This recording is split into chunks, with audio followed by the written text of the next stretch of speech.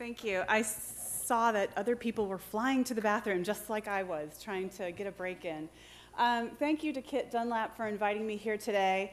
Uh, I think this is my third or fourth time speaking to chamber folks about the Affordable Care Act. Um, it's a fun topic, right? Um, so I teach health policy to master's students, and um, I tell my students there's really no greater time in history than to be a student of health policy. Because as we heard, if every day you turn on the news and you're hearing yet one more change that's occurring. And so it's a, it's a pretty nice topic to be involved in.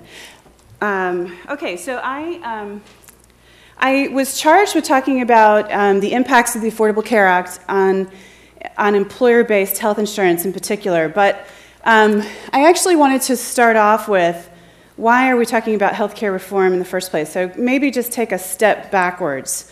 Um, I think when we're having discussions about um, should we defund the Affordable Care Act or should we continue down this um, path, um, I think it's important to remember that um, the status quo of our healthcare system that we have right now is pretty awful um, in terms of the rising healthcare costs, in terms of the uh, health outcomes that we're seeing in our population, and in terms of access to healthcare. And so while I personally may feel that there are some parts of the Affordable Care Act that are just frankly bad policy, and we might talk about that in the Q&A section, um, I, um, I'm still an optimist, and I'm an optimist because I understand what the status quo is right now. And so that's what I wanted to start off uh, my presentation with. So uh, I would argue that the status quo is really unsustainable for three reasons. The first reason and this is weird, but I have paper in front of me, the slides behind me, so I'm going to be doing this a lot, so just bear with me. Um, so I would, I would argue that the first reason why the status quo is unsustainable is that healthcare spending is growing faster than the economy and growing faster than our wages. And while the trend in this in our healthcare spending may be leveling off, you may have heard some um, evidence of that in the media in the last year. The the trends are still um, increasing. So here's just, this is somewhat of an old um, slide. So the last data point here is 2004. But it's looking at the percent of healthcare expenditures as a percent of GDP um, in several countries. And you can see there that the top line, the red, is the United States. So the good news is, in comparison to the other developed countries, they all have an increasing trend in how much they're spending on healthcare, but their slope is a little bit lower than our slope. Um, and I've also added 2010 um, estimates. So in t- 2004, the percent of GDP on health expenditures was around 16%, and the last figure for which these data are available, um, we're running at 18%. So um, an economist might say, well, maybe 18% is not such a bad thing if it's the case that we, um, we are afforded to better health outcomes relative to our peer countries. Um, and I un- unfortunately can't say that that is occurring, right? So, the second piece of why we've even talked about reforming our healthcare system is that we have um, health outcomes that and health status indicators that are really inadequate relative to our peer countries, um, and that these poor health outcomes are driving healthcare costs. So, for example, the America's Health Rankings, which is um, which uh, produces an annual report on how the states fare in terms of many different health indicators, including health outcomes and health risk behaviors. Um, the last data uh, available is from 2012, and it shows that the, um, Georgia ranks 36 of all of the states in terms of our health outcomes, uh, overall health rankings. And so you can see some of the, um, the, the components that are driving this ranking. We're 27th in obesity prevalence, 33rd in diabetes. Um, 36th in health status, and that's people reporting that they're in poor or fair health. And I just want to put in a plug for public health funding in the state of Georgia um, to show that maybe one of the reasons why we're 36 in the country is because the amount of money we put into public health is also pretty low at 37. Um, so, this has some pretty severe economic implications of having poor health indicators. Um, these data that I'm presenting are old, again, but um, I think it gets the point across, which is when you look at some of the chronic diseases that we have, um, in the diabetes belt that we live in, um, y- you can see that the costs for uh, outcomes such as obesity are we're running around 2.1 billion dollars in 2000, and a good chunk of those costs um, is landing in our in our public insurance programs, Medicaid and Medicare. And so while we may uh, be afforded private health insurance as individuals, if we're lucky. Um, it's these public insurance programs that we should also care about as taxpayers because we do pick up the burden um, in one way or the other. And I also want to note that our obesity rates and our other chronic disease rates are particularly high in rural areas. And so when we see averages across Georgia for poverty or for some of our health outcomes, I think it's also important to note that um, Georgia, this county does not look the same as a county in South Georgia. And so there's a wonderful, I'm going to skip the diabetes, there's a wonderful uh, slide here that was developed by partner, partner Up for Public Health. This is Charlie Hayslett's group who does some work for the Georgia Public Health Association. And um, so, to, to kind of explain, you really don't even need to know the details, just look at the colors. So, red is bad, okay? And on the left side, it's looking at our tax credit rankings of 2011. And those rankings are based on unemployment rate, per capita income and poverty rate. So if you if you see uh, a county that's red, that means they're they're fairly low on the list uh, for tax credit rankings, and, and a green county is fairly high on the list. And if you contrast that colorful state with the with the one on the right, that's showing what our health outcome rankings are. And again, red is bad and green is good. And, and this is looking at indicators such as life expectancy and low birth weight. And I think this is an incredible visual to show that there is not necessarily a causation between poverty and health status, but there's certainly a correlation going on in many of our counties. So the third, uh, the third reason why I think we, we have been, or the reason why I believe we've been talking about reforming our healthcare system, is our insufficient access to health insurance coverage. Um, this leads to system inefficiencies, as we heard from the last presenter, uh, people using emergency rooms as their primary care settings, um, and then leading to poor health outcomes as people um, don't go receive primary care and uh, they just wait until their disease or illness gets worse enough that they have to show up in the emergency room. And this ends up in higher costs for all of us. And just to show you again where we stand in Georgia in terms of our, uh, our public coverage and our uninsured. Um, and again, the estimates that came out yesterday um, may make these data a little bit old. And again, this is why you have to be watching the news every single day to know what's going on in health policy. But the point being is that uninsured is 18% nationally, and here in Georgia, we're higher. And then thinking about that uninsured rate is probably even higher in those lower socioeconomic status uh, counties. Okay, so we've uh, so we're talking about the Affordable Care Act today. Um, it was passed, as we've heard already, in March of 2010, and um, noteworthy is that it was passed with no bipartisan support. And so, why was it passed with no bipartisan support? I don't understand that because in the 2008 presidential election, health care reform was on the agenda for both candidates running for president. Um, and it has been on, uh, on the uh, campaign issue for all of the presidential elections that we've had um, in the last two decades, three decades, four decades. Um, but I would argue that the no bipartisan support is not because we don't recognize that there's a problem with our healthcare system. I think probably we do. It's just that the approaches we might take to change that system are very different.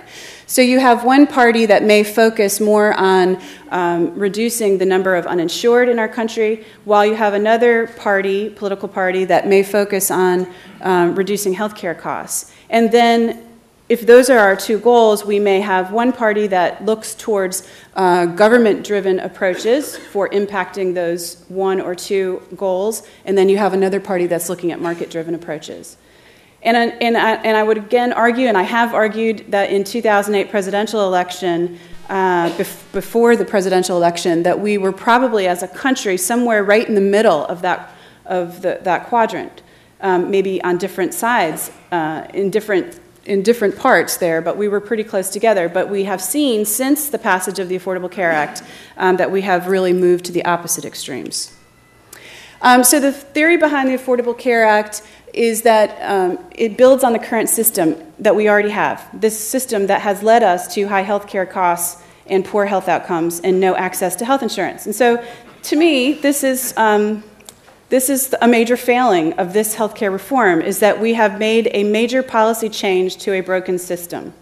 And unfortunately, this is the way policy is made in the United States. We tend to make incremental changes instead of full sweeping changes um, for lots of reasons that we could talk about um, as political theorists.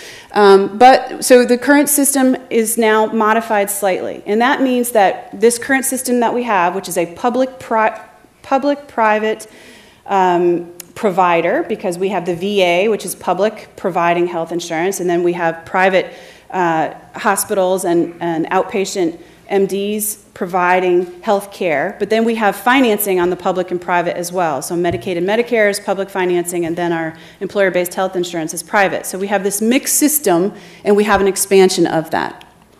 So when I try to, when I have been trying to explain what's in the Affordable Care Act, because that's really step one over the last couple of years, I, you know, the 2,000 pages, there's many, many, many details, and depending upon who my audience is, I'll pull out what they might care about. So for example, if I'm speaking to a public health audience, I will pull out the pieces that are specific to prevention, specific to evidence-based medicine, and specific to public health.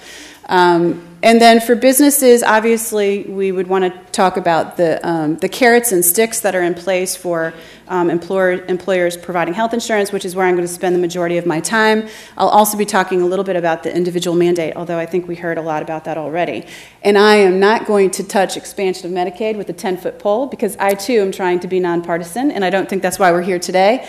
And then the state based health exchanges, I, I believe our next speaker will be talking about. So let's talk about the individual mandate first. Um, the individual mandate basically says, as you are well aware, that all Americans uh, must carry health insurance with some exceptions beginning in 2014. And we did hear um, the last speaker talk about um, what these penalties mean. There was lots of discussion in 2009 by economists that were part of the um, policy, the policy development process on how high do you make that penalty such that people will, will actually change behavior because that is why you have this piece of the legislation. And frankly, they had to come up with, um, they had to negotiate this penalty down. So, if as, as a health economist, I would argue that the penalties are too low and that most people will not change behavior and go out and seek uh, uh, health insurance. Those young invincibles, I don't see them doing it. That's my, my opinion. Um, Generous subsidies from the federal government uh, for those who qualify. Um, the, one of the benefits here of, of having an, um, an employer, an individual mandate is it establishes minimum coverage levels um, for the first time. It was upheld by the Supreme Court um, last summer, I guess, or was it this summer? I'm, I'm all mixing together for me, um, as a tax. And really, one of the main reasons why this individual mandate is, is extremely important as the whole of Affordable Care Act has been passed, is that it balances out this no denying health insurance to people with pre existing conditions. Um, if, if it's the case that health insurance um, companies now have to cover people with pre existing conditions, then they will be better served to increase their risk pool. And we can do that by requiring everybody to have health insurance. So, this was a very important piece to be included. Um, the rationale for the individual mandate is it's trying to achieve near universal coverage of health insurance. So, again, thinking about what the two goals of the Affordable Care Act are or might have been, uh, which is to reduce the number of uninsured and to um, decrease rising healthcare costs. This is really hitting at the uninsured piece. Um, and it prevents healthy people from waiting until sick to purchase insurance. Um, so, that, uh, so that is also a major component and major benefit of the individual mandate. So I'm going to turn my attention now to the, what's happening on the employer-based health insurance side. And I have uh, a, a, couple things to talk about on the carrot side, which are the what are the incentives. And you see, um, sorry for my stupid graphics, but this is what, this is what, what I have. Um, so there are small carrots and there are big carrots. Um, and then there are small sticks or penalties, and then there are big sticks and penalties. Um, so let's talk about the carrot. So the small carrot that is available to employers to try to encourage you to provide health insurance to your employees, employees is uh, grants available for employee wellness programs. So the Affordable Care Act spends a lot of time in defining what, we, what they mean by wellness programs. Um, they define wellness programs as either participatory or comprehensive. And a a participatory wellness program is something like um, providing uh, uh, premium reductions for health education seminars, providing free seminars, uh, providing time away from the office to go to health seminars, maybe something like this. Um, we just started um, a Tai Chi class on our health sciences campus at the University of Georgia. It's completely voluntary. Uh, we, hope 20, we hope to see 25 people there every time. That's very much of a participatory wellness program. In contrast, the comprehensive wellness program is, and if you focus on that last bullet, is really designed to have a comprehensive program for your employees that rewards them based on some measurable improvement in either health status, such as a BMI screening, or in uh, reducing health risk behaviors, such as reducing tobacco usage. Um, so it's a very different, more, uh, more comprehensive program. And the key here is that the grants that are available to small businesses are only for those comprehensive programs, not for the participatory programs. So, beginning in January, there will be about $200 million available for small businesses. It's important to clarify what we mean when we say the word small business because the Affordable Care Act chooses many different def- definitions depending upon what part you're reading. So, in this part, they are defining small business as less than 100 employees. Uh, to be eligible, this has to be a new program that was put in place since 2010. And again, as I said before, it's only available for comprehensive wellness programs.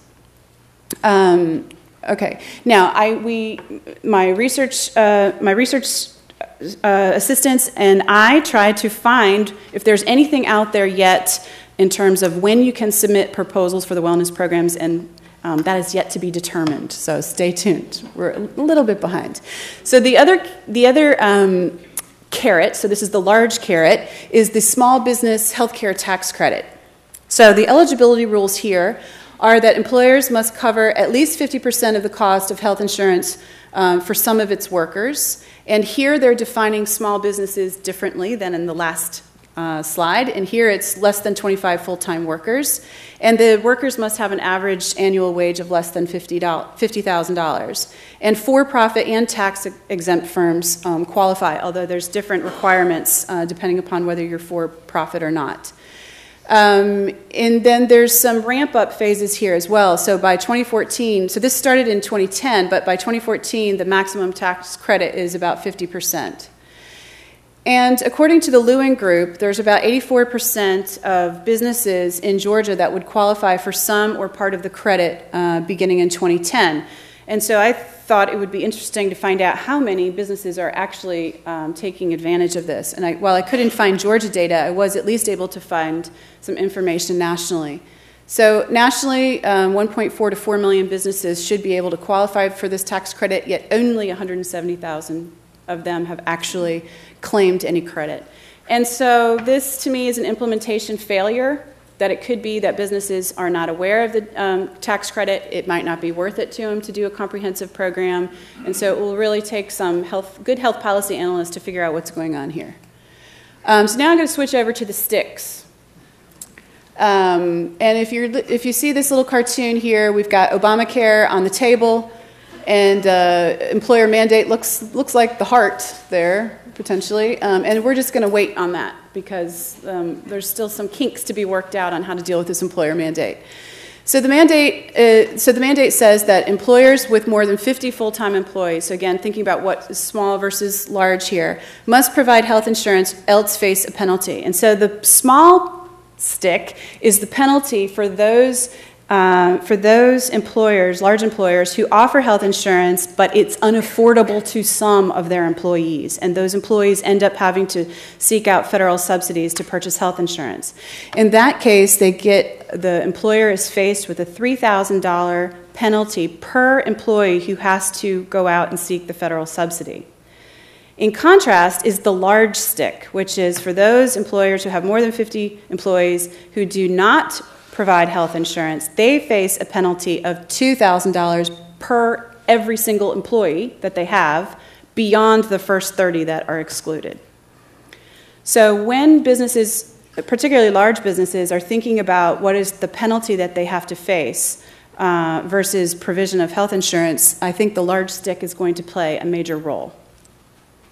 Uh, originally scheduled for 2014, but as you know, this is delayed until 2015. And then there's other employer requirements um, in, in the legislation as well, such as uh, minimal essential requirements for healthcare insurance, um, including prevention and wellness services and hospitalization. Um, and then if you go to the US Chamber, I don't know how many of you have downloaded this document and reviewed it. I've looked at it over several times. And one uh, phrase really really hit home with me, and, and it's this one. The basic premise of the law fundamentally shifts the foundation of employer sponsored benefits in America. What has been a voluntary and flexible system will now be a one size fits some landscape. And so, just to remind us on how we came up with employer based health insurance in the first place, we are the only country, as far as I can tell, uh, in the industrialized world, other than Germany, that has employer based health insurance. And in our country, it came about during World War II when there were wage and price gaps, uh, caps put in place. Um, and so, in, at the same time, we were ramping up production in factories because of the war. And so, employers really needed to have a way to compete in the labor market. And one way they competed was to provide generous benefits, including um, life, life insurance and also, um, and also health insurance. And so we still have the system today, and one of the reasons why we do is there's also a tax break afforded to employers who offer health insurance. Um, and that was established with IRS rules in the late 40s and early 50s. And the point being that the Chamber is making is that where once health insurance may have been considered a voluntary benefit, we are now seeing with the Affordable Care Act that it is a mandated benefit, and that is a very different kind of system. So, with health reform bringing new cost pressures, employers are now trying to figure out ways of managing their costs. And I guess I would argue that their costs were there, uh, regardless of the Affordable Care Act being passed in 2010. Um, but I think that um, a lot of the uh, press that we're hearing on large employers is a reaction to the Affordable Care Act, but also a reaction to their rising healthcare costs in the first place. So the, the um, tactics that employers are taking really depends on who in their population they are thinking about. So if you think about the risk continuum um, of your employed population, you have probably 85% or so of your employees who are relatively healthy and who are only consuming about 15% of your total healthcare expenditures. And for these employees, large employers are really trying to target health promotion and health risk management. So this is looking at health risk assessments, um, providing incentives to conduct an annual health risk assessment or biometric mark, mar, uh, markers, such as a BMI, such as glucose screening. Some employers are, are now putting in penalties for employees who choose not to do the health risk assessments. Um, but how many of them are doing these wellness programs? About 50% of all US uh, employers have a wellness program, but I would argue that most of, the, most of those are participatory and not comprehensive. Um, the focus is on weight and smoking, fitness, alcohol, and stress. Um, 40, there's been some evidence to show that 46% of employees actually participate in these programs. I don't believe it. Um, I believe the other statistic more so, which is that, uh, which is that 15% probably are participating in the more uh, rigorous, comprehensive programs that are, are all around disease management. Um, but that 46 participation is, I just, it's hard for me to believe. But then this last bullet also says there's evidence that the, there is statistically significant improvements in some of um, these health behaviors for employees who do participate in the wellness programs. The problem with wellness programs is you're not getting the 85%, the 15% unhealthy, you're getting the 85% healthy participating in those wellness programs. Um, so let's take a look at what's happening with employers around um, the country right now when it comes to this biometric screening. So this was in the news in the last um, month or so that CVS is now requiring all of its employees to submit to a weight, body fat, glucose, and other vitals test by May 2014. Um, and if they don't do it, then they face a $50 a month charge on health insurance, increase in their health insurance. There have been some CVS employees who have challenged this in court and lost. Um, CVS has stated that the benefits program evolving to help our colleagues take more responsibility for improving health and managing health associated costs. And so, this idea that um, we as employees can no longer just go and use any health uh, care that we want because our employer based health insurance is going to cover it is going away. And there's going to be, in my opinion, more transparency in how much our health expenditures really are from a consumer standpoint, and that we will be required to take on more responsibility as an individual. Penn State is the most recent one to make the news. Um, I sit on the advisory board for the Board of Regents here in Georgia, and so we're watching very closely what our competitor um, academic institutions are doing. So, Penn State um, instituted the Take Care of Your Health, and as the New York Times reported, in the dead of summer when no faculty were around to complain. Um, and, and so, this Take Care of Your Health requires employees to undergo biometric tests and complete a health risk assessment, which asks some pretty um, invasive questions, at least according to the faculty who were um, providing quotes for the New York Times article, about your medical history, about what are your finances, about your marital status, and about your job related stress. Um, and here's some nice quotes that came from this article that was on September 14th.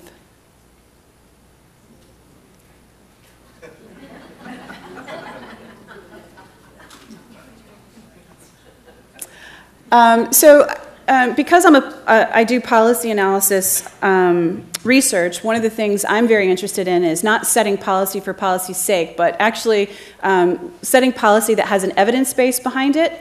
Um, we think about this in clinical medicine as well. You want your physician to to give you the right drug because there's a clinical trial that says it's the right drug. Well, it's the same thing in policy. I would hope that policies get passed where someone's actually done research on the implications of those policies. I know I live in a I live in a world that doesn't exist, but whatever.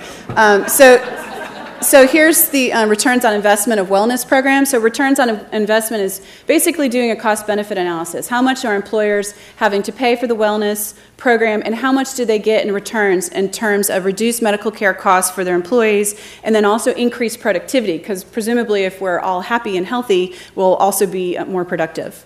Uh, so there's um, some very important articles that have come out in the last couple of years 2010 saying there, uh, 2010 article is basically saying there is a positive returns on investment in these employee wellness programs. Chapman in 2012 also said there's returns on investment. But aha, the RAND study, which is really the best conducted of all three of these, just released in the last couple of weeks um, a very large meta-analysis that said there's no statistically significant savings in a five-year period for employers who are putting in a wellness program. Um, so then we've got this other 15% of the employee base who's in, in, incurring 85% of your costs, and the goal here is really to do um, disease management. So you've kind of identified or targeted your employees who have one of the major uh, chronic diseases, and you do something around um, disease management or case management. Um, the targets are congestive heart failure, coronary artery disease, diabetes, asthma, et cetera. Um, here's another statistic that 77% of large firms and 57% of small firms have at least one or more of the above. Again, I totally don't believe that statistic. Um, you know, at the, at the Board of Regents and having a family member with a chronic disease, I can tell you our disease management is nothing more than a nurse calling once a year. And that's not an effective disease management program. Um, so, what does the evidence say on returns on investment in chronic disease management? Goetzel, Ron Goetzel is really the leading um, researcher in this area. He's got a, an appointment at Emory, in fact, um, and he has produced um, several articles that have claimed returns on investment for some disease management programs. So, you can see asthma, there is a return, um, but look at diabetes, there's not a, a return on investment with the diabetes management programs. Um, so then let's talk about other major trends that are going on, and this is the consumer, this is getting consumers or employees more involved in, in, in their care and in, in what kinds of services they receive. And so we see this big push for consumer driven health plans. And this is essentially looking at um, a health insurance plan where you have a higher, typically higher than nor- normal, whatever normal is, uh, higher than normal deductible, probably relative to a um, preferred provider organization type of plan. And it's also offered with some type of health savings account. And there's many different names that we use for those types of accounts, but it's essentially where the employee puts money into an account that they can draw from for out of pocket expenditures and for other things that are, are are, are allowed. And sometimes employers seed that pot of money or match that pot of money, but not always. Um, but it's becoming more and more frequent that, um, that employers are now having this as one of their only plans available to their employees, or having this as the default plan when they, um, when they are hired. Um, and so let's look at some other trends. Um, I just love, the news is a wonderful place to get your information. So, University of Virginia has also um, hit, hit the news recently because they have decided to drop spousal coverage, probably also passed in the dead of summer when new faculty were, around. Um, so, the idea here is that spouses with health insurance coverage that's available to them under their own employment uh, will no longer be covered um, under the UVA plan. UPS um, has also decided to drop the spouses, citing increased costs. And then in some other companies, they're starting not they're not dropping spouses, but they're um, they're using surcharges uh, when a spouse could have gotten employer-based health insurance at their own company. And so Penn State, you know, again another uh, wonderful thing that Penn State's doing is charging, in addition to their biometric screening, is charging $100 per month um, for the spouse. We also see health insurance vouchers uh, becoming the new trend. Uh, so IBM has reported that in January of next year, they will be granting retirees um, a voucher that they can then go into a Medicare exchange and purchase whatever they want. Um, I will tell you that but if there's a reporter in the room, please don't put it in the newspaper, that the Board of Regents is also thinking about how to deal with, medic, with our retired population because they are in that 15% of your employed population that's incurring 85% of the costs. Um, and so a voucher system is, is something that we're looking at pretty closely. DuPont and Caterpillar um, have done the same thing. Sears has actually moved all of their employees, or will be moving all of their employees over to a voucher system. Um, and Trader Joe's um, while they may have covered part time employees in the past, will no longer be covering part time employees and instead be giving them a voucher for, to help them uh, to look for health insurance on the market. And then other changes, let's see, raising the eligibility requirements for benefits. So Wegmans uh, went raised their eligibility from 20 hours a week to 30 hours a week, cutting employee hours to under 30 hours a week. So Forever 21 uh, cut all their line workers to 29.5 hours. And so this is probably for those of you who are small business owners with rate, and when you're right at that 50 FTE cutoff, probably um, a lot of decision making is going on around full time versus part time employees. So, the key considerations I think that businesses should be considering right now are the following that what is your mix of full and part time employees? And as I said, is there ways that, this, that you can adjust employee status? And, and I think in the long run, this is going to be really bad for our economy.